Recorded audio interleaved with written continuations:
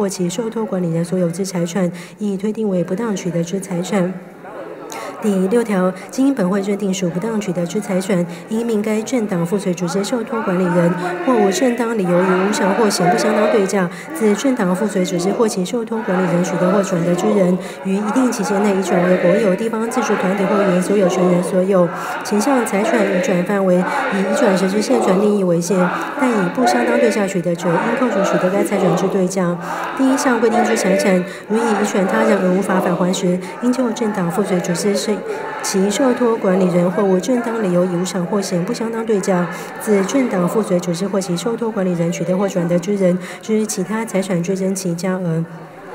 第七条，善意第三人于前条应转为国有、地方自治团体或原所有权人所有财产上存有之租赁权、地上权、抵押权或等权等权利，不因此而受影响。第二章申报、调查及处理。第八条。政党附随组织及其受托管理人，应于本条例施行之日起一年内，向本会申报下列财产：一、政党或附随组织自中华民国三十四年八月十五日起至本条例公布日止所取得及其交付、已转或登记于受托管理人之现有财产；二、政党或附随组织于前款期间内取得或其交付、已转或登记于受托管理人之财产，但现已非政党附随组织或其受托管理人之财产，前项应申报之财产如下。一、不动产、船舶、汽车及航空器；二、一定金额以上之存款、外币、有价证券及其他具有相当价值之财产。三、一定金额以上之债权、债务及对于各种事业之投资，前项之一定金额及其他具有相当价值之财产，由本会公告之。第一项、第二项之申报，应载明财产之来源、种类、取得方式、取得日期、变动情形及其对价。如定有书面契约者，并应减负其契约等相关资料，即格式由本会定之。本会得主动调查认定政党之附随组织及其受托管理人，并通知其于受本会通知日起四个月内向本会申报第一项之财产。本会除受理第一项及前项之申报外，亦得主动调查政党附随组织或其受托管理人财产税来源、取得方式、取得日期、变动情形及其对价。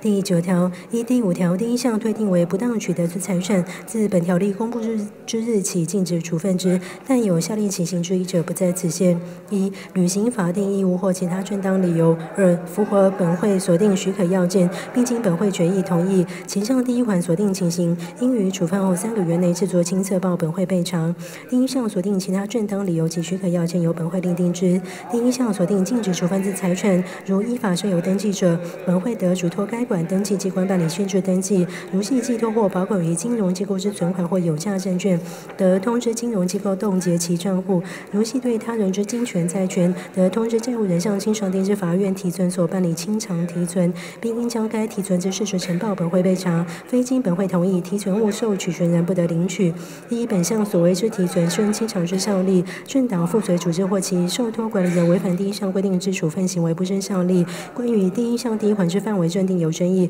或不服第一项第二款之决议者，利害关系人得于收受通知后三十日内向本会申请复查。对于复查决定不服者，得于收受后二个月不变期间内提起行政诉讼。第十条。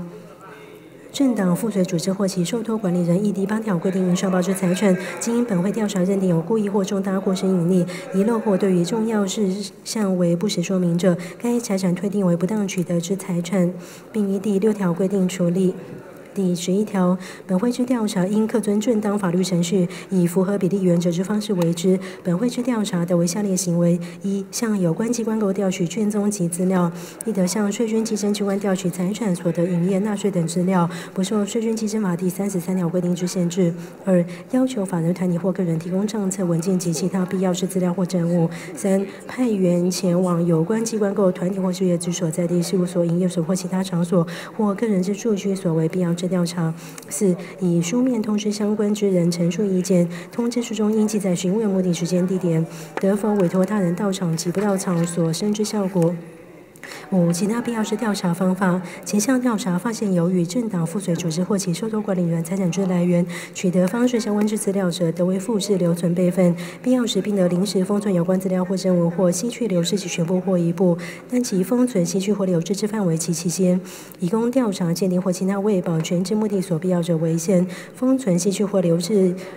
属于中央或地方机关购持有之资料或证物者，应经主管长官允许，但主管长官除有妨害重大国家利益之正当理由，不得拒绝。吸取之资料或证物，原持有之机关购应加盖图章，并由调查人员发给收据。本会派员执行调查时，应出示有关执行职务之证明文件，其未出示者，受调查者得拒绝之。为执行本条之调查，本会于必要时，得请各级政府机关或警察机关协助，并得委托会计师及其他专业人事协助调查、鉴价及查核相关资料。第十二条，受调查之机关构法人、团体或个人，不得规避、拒绝或妨碍调查。第十三条，向本会提供政党、附随组织或其交付、移转或登记于受托管理人之财产所在、来源、取得方式或处分等相关资讯，并应有时本会发现并追回政党、附随组织或其交付、移转或登记于受托管理人隐匿、遗漏申报之财产或不当取得财产者，本会得酌予奖励。本会对于举发人之身份应予保密，第一项奖励条件、方式及其他相关事项由本会另定之。